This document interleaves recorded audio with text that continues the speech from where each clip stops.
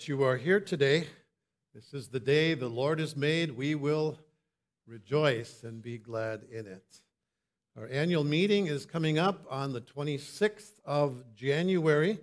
If you are responsible for a report, I encourage you to get that in as uh, soon as possible. I'm going to call on uh, Cindy Schlink, one of the nominating committee members, to uh, share with you the nominations for offices.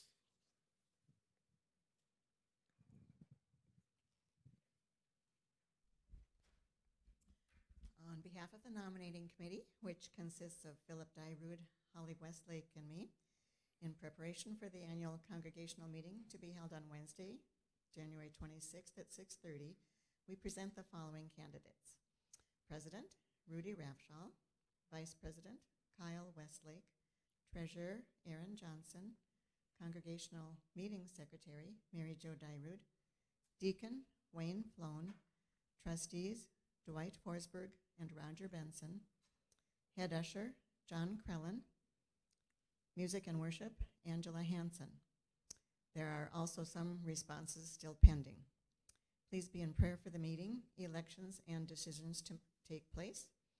And we thank God for guiding and using his people to accomplish his purposes for his glory.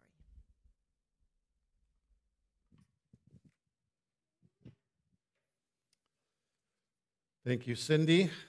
If you've ever been on the nominating committee, you know that is a job that takes some work, and we're thankful for uh, those who are serving us in this way. Our call to worship today comes from the 40th Psalm. I waited patiently for the Lord, and he inclined to me and heard my cry. He brought me up out of the pit of destruction, out of the miry clay, and he set my feet upon a rock, making my footsteps firm. He has put a new song in my mouth, a song of praise to our God. Many will see and fear and will trust in the Lord. Let's pray.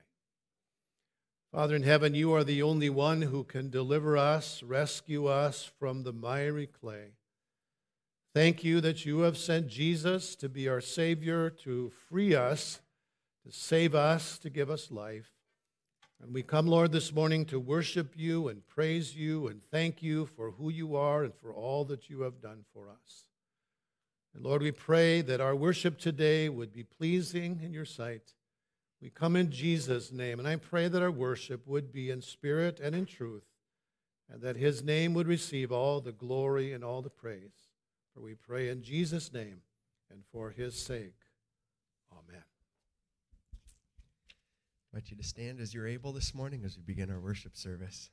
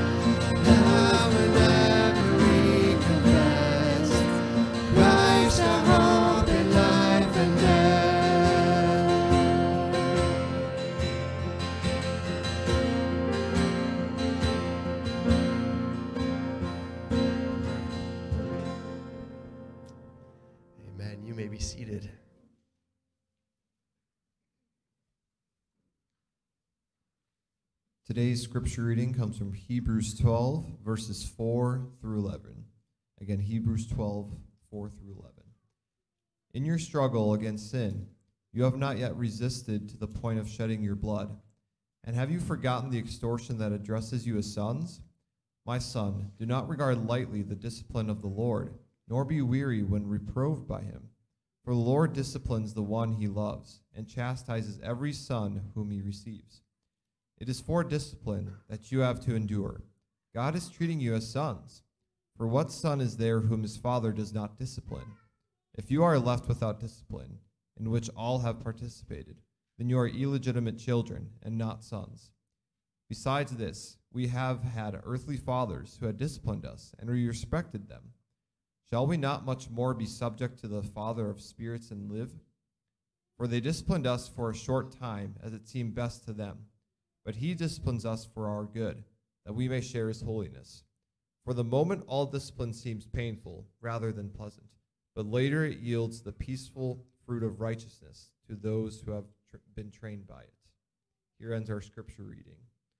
The confession of sin comes from Psalm 32, verses 3 through 5. it Can be found in your bulletin and on the screen.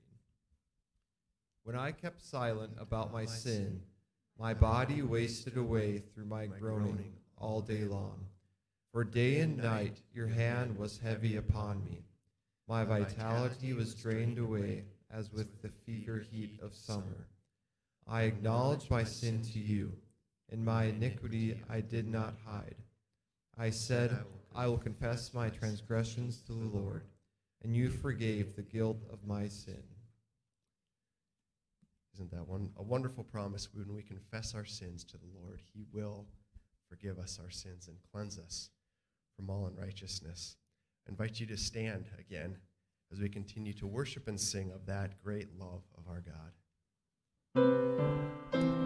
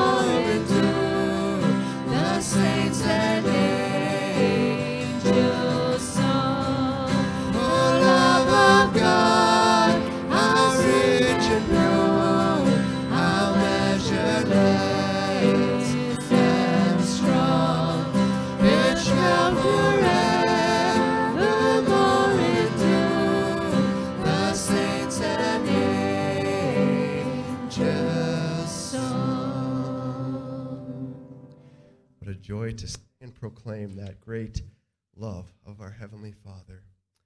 I invite you to join together as we confess our faith in the words of the Apostles' Creed. I believe in God the Father Almighty, the maker of heaven and earth, and in Jesus Christ, his only Son, our Lord, who was conceived by the Holy Spirit, born of the Virgin Mary, suffered under Pontius Pilate, was crucified, dead, and buried. He descended into hell. The third day he rose again from the dead. He ascended into heaven and is seated at the right hand of God the Father Almighty, from where he shall come to judge the living and the dead. I believe in the Holy Spirit, the holy Christian church, the communion of saints, the forgiveness of sins, the resurrection of the body, and the life everlasting.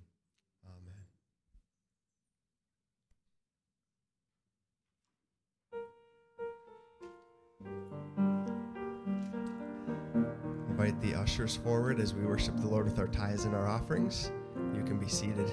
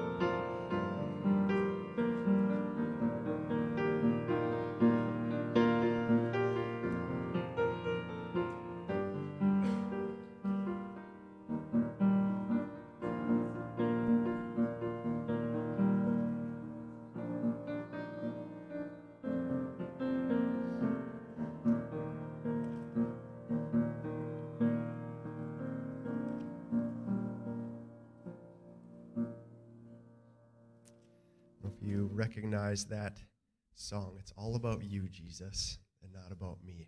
I hope that's the cry of our heart this morning, that our worship would be about Him, nothing of ourselves, but that He would receive all the honor and glory and praise as we behold our God through the reading of His Word, through the preaching of His Word, and the singing. Before our message, I invite you to stand one more time as we sing that Behold our God.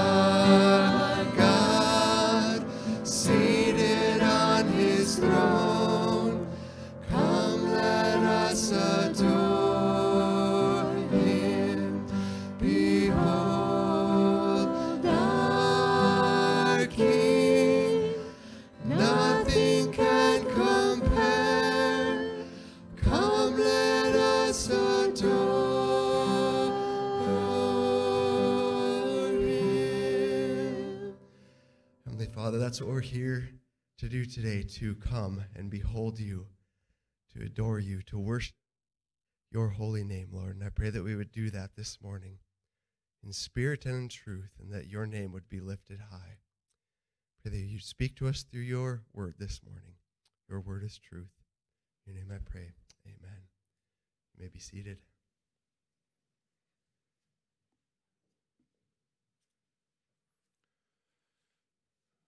Back in the early 1960s, when I was a child, the denomination that our congregation was a part of began to drift spiritually. And one of the ways we saw that was the Sunday school material. Two things I remember as a child. One was that they did not believe any longer that Adam and Eve were actually real people, just kind of symbols of creation or something like that. And then the other thing that they said they didn't believe anymore is that Jonah was actually swallowed by a fish. That was just a myth. I remember my dad telling about a man who was sitting in a church service and the preacher was preaching on the book of Jonah and he made the statement he said, We don't really believe this anymore that uh, Jonah was swallowed by a fish. And there was a man who stood up while the pastor was preaching and said, Pastor, I beg to differ with you. He said, If the Bible said that Jonah swallowed the fish, I'd believe it. Why? Because of his confidence in the truth of God's word. Jesus himself said that Jonah was swallowed by a fish. So, who are you going to believe? Are you going to stand with the liberal, so called scholars of our day? Or are you going to stand with Jesus? I stand with Jesus. I stand in his word. And we come then to chapter 2 of Jonah. Jonah has been swallowed by that fish. Running to God. In chapter 1, he was running from God. Now, in the belly of the fish, he's running to God. Genesis 2, we begin at verse 1. Then Jonah prayed to the Lord his God from the stomach of the fish. And he said, I called out of my distress to the Lord, and he answered me. I cried for help from the depth of Sheol. You heard my voice. For you had cast me into the deep, into the heart of the seas, and the current engulfed me. All your breakers and billows passed over me. So I said, I've been expelled from your sight. Nevertheless, I will look again toward your holy temple. Water encompassed me to the point of death. The great deep engulfed me. Weeds were wrapped around my head. I descended to the roots of the mountains. The earth with its bars was around me forever. But you brought up my life from the pit, O Lord my God. While I was fainting away, I remembered the Lord, and my prayer came to you into your holy temple. Those who regard vain idols forsake their faithfulness. But I will sacrifice to you with the voice of thanksgiving that which I have vowed I will pay. Salvation is from the Lord. Then the Lord commanded the fish, and it vomited Jonah up onto the dry land. Father in heaven, these are words that you have given by the inspiration of your Spirit. We believe that your word is truth. And I pray, Lord Jesus, that the words of my mouth, the meditations of our hearts, would be pleasing in your sight. In Jesus' name we pray. Amen. Put yourself in Jonah's shoes for a moment. Can you imagine what it would be like? To be in the belly of a fish for three days and three nights. Now, obviously, it must have been a very stinky place, I would assume. I don't know how else to describe it other than that way. It must have been a very frightening experience. But God knew that Jonah needed that. You see, the storm that God sent upon the sea that caused the ship just about to break up didn't really get Jonah's attention. But being thrown overboard and swallowed by that fish, I think Jonah was ready to, to listen now. R.T. Kendall says the belly of the fish is not a happy place to live, but it is a good place to learn. And I would suggest to you that there are several things that Jonah learned as he spent that time in the belly of the fish. First of all, Jonah realized his need. He realized his need. As we come to chapter 2, Jonah is finally on his knees. For the first time in his trouble, he prays. And that's interesting because in chapter 1, verse 6, he was asleep in the belly of the ship, right? And the captain of the ship had to tell him to pray. He said, How is it that you are sleeping? Get up, call on your God. But in that ship, we don't have any record of Jonah praying. The first record of him praying is what we find in chapter 2. In the belly of the fish, that's when he finally started to pray. Verse 1 Then Jonah prayed to the Lord his God from the stomach of the fish. One commentary says the significance of this verse is found in Jonah's willingness to pray. From a near drowning experience, he awakened to find himself in a terrifying environment. We don't know how long Jonah was in the fish before he prayed. I would like to know that. Maybe someday we'll find out. How long were you in that fish before you actually started to pray? Was it right away or did you wait? Were you still stubborn? No doubt, the author says, he found his entire experience in the sea overwhelming. That this prophet of few words finally prayed marks a turning point in the book. And it certainly is, right? Because that's where things change. That's the turning point. When we are in the midst of whatever it is we face and we get down on our knees and pray, that's the turning point. And if you never get to the turning point, you're going to be in trouble. Facing the challenges of life alone or on your knees in prayer. I think it's wise that you get down on your knees. Now, as you read through this prayer, uh, Jonah expresses in various ways that, like we would say, he had hit bottom, right? He had hit bottom. Notice all the, the references to that. Verse 2, he says, I called out in my distress to the Lord. He answered me. I cried for help from the depth of Sheol. Verse 3 For you had cast me into the deep, into the heart of the sea. All your breakers and billows passed over me. Verse 5 Water encompassed me to the point of death. The great deep engulfed me. Verse 6 I descended to the to the roots of the mountains, the, the very depths of the sea. And then he says at the end of verse 6 But you have brought up my life from the pit. So all of those expressions really describe that, that here's a man that had finally hit bottom. Right? And you look at people and you think, you know, they go through struggles and trials, and you think, finally they've hit bottom. Oh, no, no, no. go back to their sin. Finally, they've hit bottom. No, no, no. Just like this uh, cycle going on and on. Finally, uh, Jonah hit bottom. So deep was the pit that Jonah had figured he had been banished from the sight of God. Verse 4, he said, I have been expelled from your sight. That's how bad it seemed. There was no hope. He was in the pit, and there was no way he was going to get out. Ever felt that way? Ever felt like you were in a pit and you wondered if you would ever get out? My wife experienced that one time when, when she was with her brother Larry and they were uh, walking in the field of mud and she sunk into a six inch pit.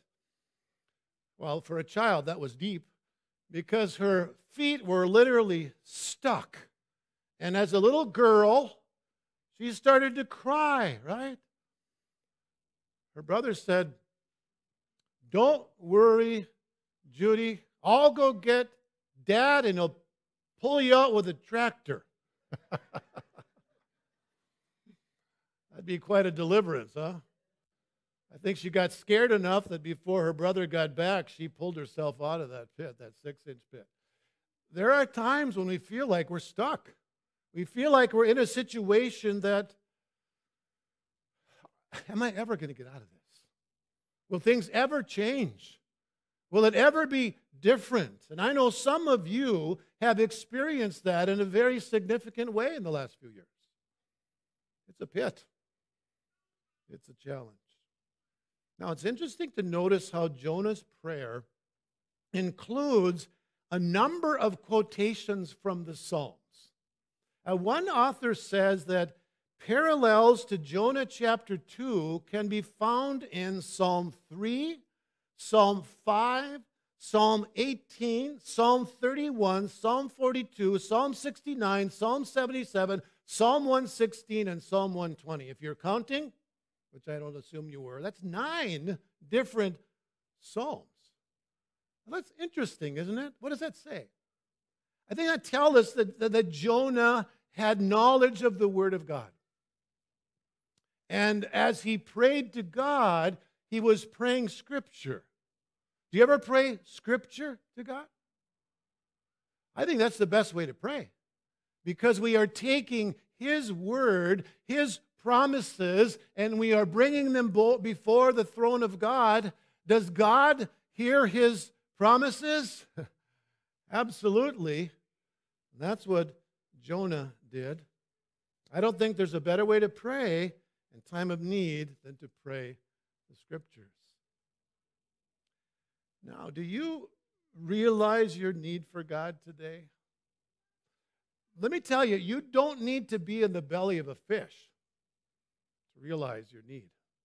We need Jesus every day, right? Every single moment of every single day, we need Jesus, and we have the privilege to come to Him in prayer. What a friend we have in Jesus. All our sins and griefs to bear. You can finish it, can't you? What a privilege to carry. Do you consider that a privilege? If you were in the belly of a fish, you would consider that a privilege, wouldn't you? But you have other needs.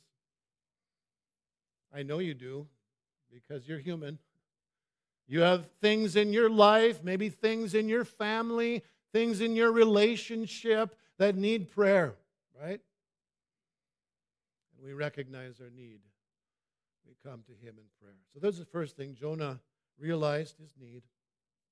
The second thing we notice is that Jonah recognized God's discipline. Did you notice how he describes being cast into the deep in verse 3? He says to the Lord, For you had cast me into the deep, into the heart of the seas, and the currents engulfed me. All your breakers and billows passed over me. So instead of saying that the sailors threw me overboard, which they did, right? Instead of saying that the sea covered me with all of its breakers, what does Jonah say? God, this is your work. This is your discipline. He saw what he was going through as God's discipline in his life. Luther said Jonah felt in his conscience that the sea with its waves and billows was the servant of God and of his wrath to punish sin. And I find it very fascinating when you read through the book of Jonah. You notice how God was actively involved in this man's life. We go back to chapter 1. The Lord hurled a great wind. Verse 17, the Lord appointed a great fish. Chapter 4, the Lord God appointed a plant. Chapter 4, verse 7, God appointed a worm. Chapter 4, verse 8, God appointed a scorching wind. And so there was no question in Jonah's mind that he was at this point in his life being disciplined by God for his rebellion.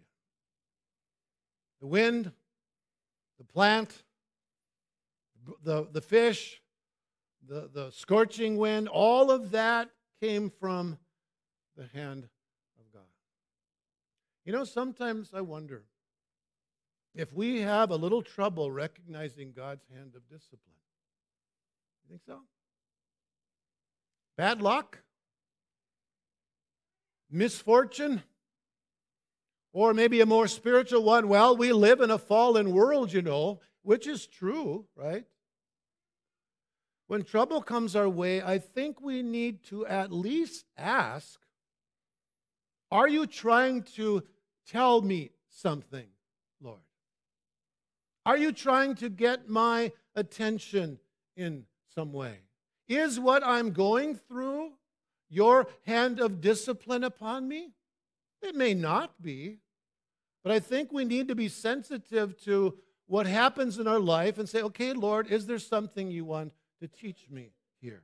And if what I'm experiencing is God's discipline, if God makes that clear to us, then we need to submit to that, right?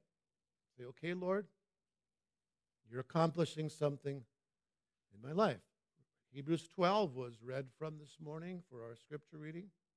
Warren Wiersbe says this about that passage. He says, How we respond to discipline de- determines how much benefit we receive from it. According to Hebrews 12, we have several options. We can despise God's discipline and fight, verse 5. We can be discouraged and faint. We can resist discipline and invite stronger discipline, or we can submit to the Father and mature in faith and love. So, how we respond to discipline really determines how much we learn through it, right? Can you remember times when you were young and you were disciplined by your mom or dad and you did not like it one bit? Huh? Unfair or why, why can't I do this or, you know, the younger brother, you know, he, I mean, there's all kinds of ways that we say, you know, I'm not going to learn from this. I'm going to bow my neck. And sometimes it's that way with the Lord, too, right? We don't fight it. We need to submit to it. And, and Jonah recognized that, that that all of this that was happening in his life was, was the discipline of God. But thirdly, in the midst of that, Jonah was renewed in his hope for deliverance. There was a time while he was in the fish that, that he wondered if there was any hope. He said, I've been expelled from your sight. But notice what he says at the end of verse 4. He says, Nevertheless, in spite of this, nevertheless, I will look again toward your holy temple. Hope being renewed. I found that expression to be interesting because I think there's some Old Testament background to, to this uh, looking again toward God's temple. It's kind of well, when you think about it, Jonah's hope was renewed.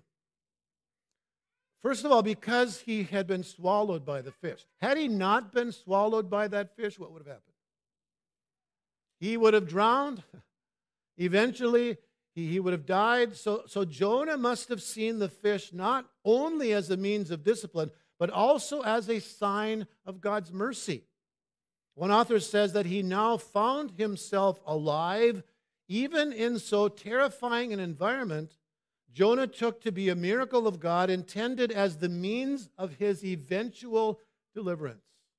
The fish was a beneficent device for returning Jonah to the place of his commission. Another reason Jonah's hope was renewed because he believed the promise of God. And here we go back then into the Old Testament in Second Chronicles chapter 6. And here is when Solomon was dedicating the temple that he had built. Second Chronicles 6, verse 18, he says, But will God indeed dwell with mankind on earth? Behold, heaven and the highest heavens cannot contain you. How much less this house that I built? In other words, you know, you're not confined to this place. But then he goes on to say this Yet have regard to the prayer of your servant and to his supplication. O Lord my God, to listen to the cry, to the prayer which your servant prays before you, and your eye may be open toward this house, looking toward this house day and night, toward the place which you have said you would put your name there, to listen to the prayer which your servant shall pray toward this place. Listen to the supplications of your servant and of your people Israel when they pray toward this place. Notice how he emphasizes that looking toward this place, looking to this place where God, your presence is made known.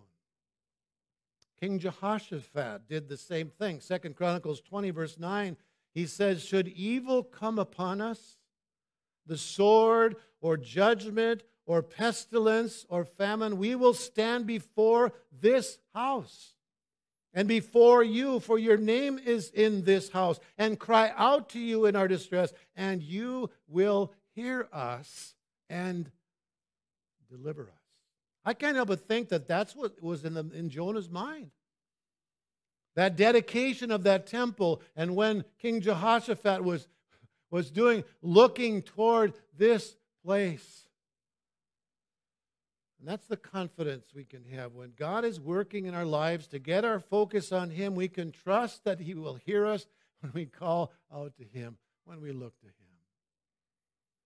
That's where our hope for deliverance comes from, from the Lord. Jonah was serious, I believe, about this prayer because the fourth thing we notice is that Jonah recommitted himself to God. Although his prayer was a cry for deliverance, it was more than that. Jonah's prayer uh, was also a prayer recommitment. Look at verse 7 through 9. While I was fainting away, I remembered the Lord, and my prayer came to you into your holy temple. Those who regard vain idols forsake their faithfulness, but I will sacrifice to you with the voice of thanksgiving that which I have vowed, I will pay. Salvation is from the Lord. What vow do you think Jonah is talking about here?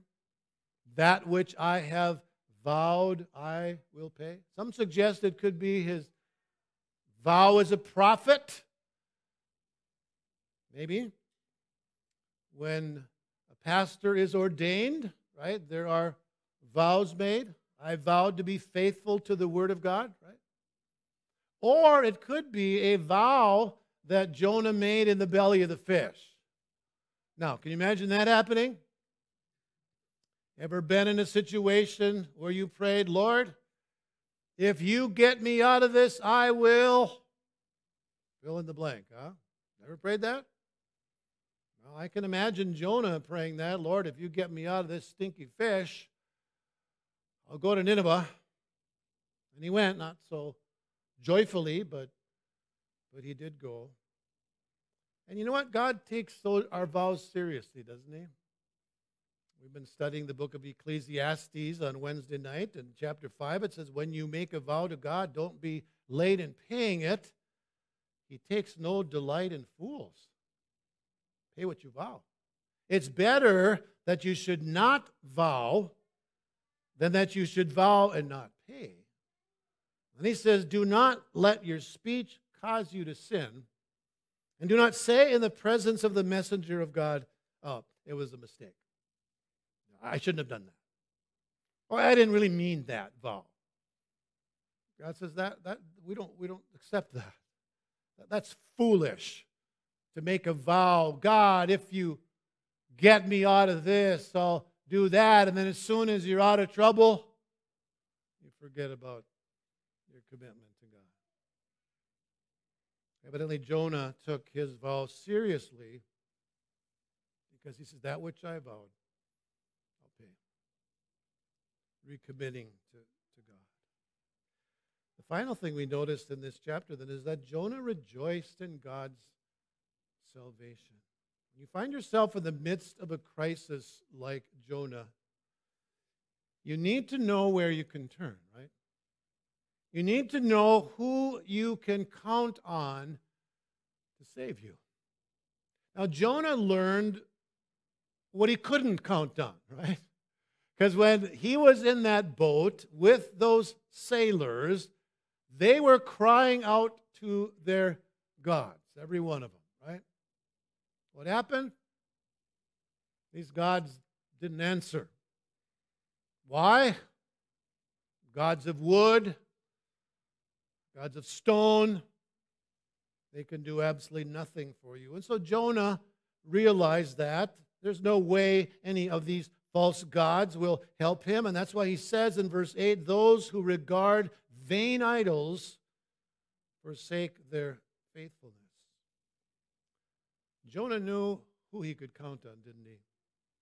He knew he could count on the Lord, and that's why he finished this prayer in verse 9 by saying very simply and very powerfully salvation is from the Lord. Deliverance is from the Lord.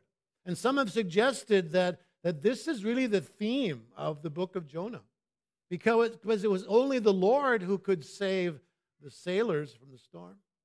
It was only the Lord who could save Jonah from the belly of the fish. It was only the Lord who could save the people of Nineveh. That really is the theme of the whole book, isn't it? Salvation comes from the Lord. No other place.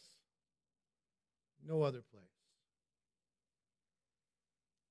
Acts 4:12 There is salvation in no one else. For there is no other name under heaven that has been given among men by which we must be saved. That's the theme of the book of Jonah. Salvation comes only from the Lord. We need to embrace that and we need to proclaim that. Jesus is our only hope. So, what was God's response to Jonah's prayer? Well, some have suggested he gave the fish an upset stomach. Verse 10 Then the Lord commanded the fish, and it vomited Jonah up onto the dry land. Not the most pleasant picture, is it? I think I would rather have my arm cut off than to vomit. I just do not, well, that's obviously an exaggeration, but any of you have no, no, no problems with throwing up? Huh? Uh, uh, that's the worst, isn't it? It's just like, oh man, give me a headache, but don't have me throw up. I was shopping at Costco a few years ago. Just, you know, walking down the aisles looking. And all of a sudden, I heard behind me the sound of someone It was it was loud. It was like, and I was waiting for the, you know, the splat. And so I turned around and looked. It was a lady I know. I said, How could you do that to me? You just about made me sick now because of there's something horrible about vomiting, huh? Well, in Jonah's case, that was a blessing. God gave that fish an upset stomach, and Jonah was spewed out of the mouth of that fish, and he was delivered, joyfully delivered. Have you been joyfully delivered? Delivered from the pit of, of sin?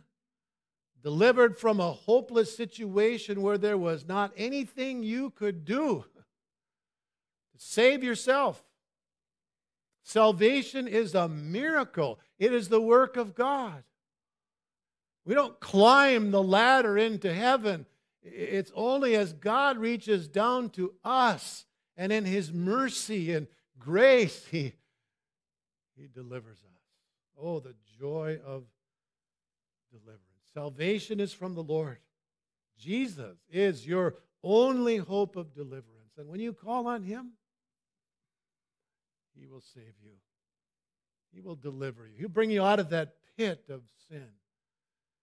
Put a new song in your heart.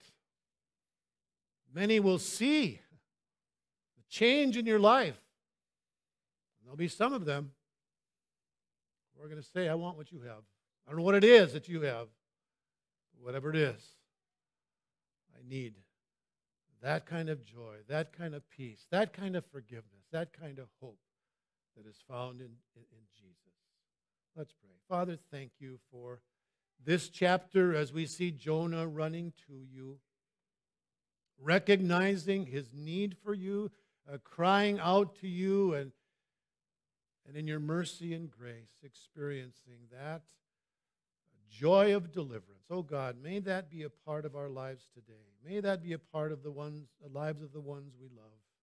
That you would rescue, that you would save, that you would deliver from the pit. In Jesus' name we pray. Amen. I invite you to stand as we close this morning singing, Jesus Loves Even Me.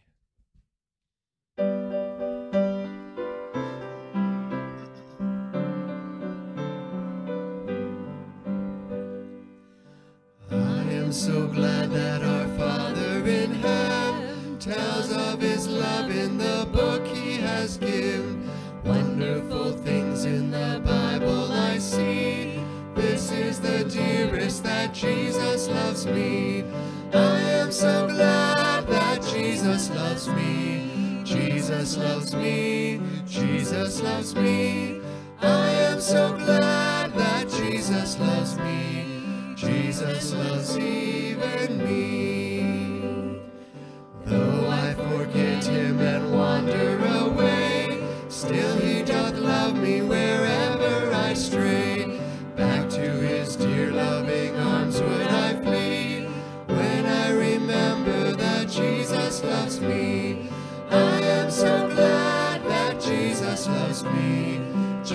Jesus loves me. Jesus loves me.